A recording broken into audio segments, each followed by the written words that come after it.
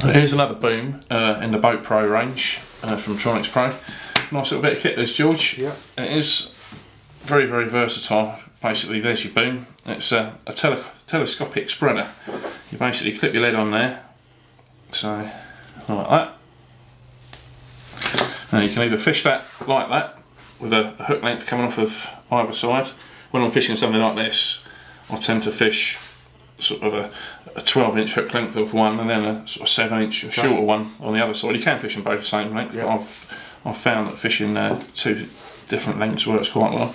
But the beauty of this thing is it extends out like that, so you can get a much for much different, uh, much greater spread, shall I say, um, on your baits.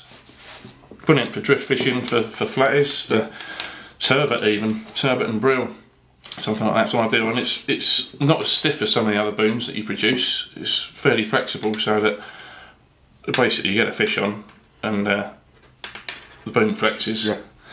Feels no resistance when it's taking the boat. No, that's it. That's it. So, what's the recommended retail on these? Uh, these are two ninety nine. Right, yeah, that's a good price for something like that. Yeah. I mean, everyone's seen, you know, the, the, the standard twin spreader booms. Yeah, Um, this obviously allows you to fish your baits that little bit wider yeah. without taking up that much room in your tackle Any box. tackle you box, know, yeah, so that's it. Good solution. Absolutely.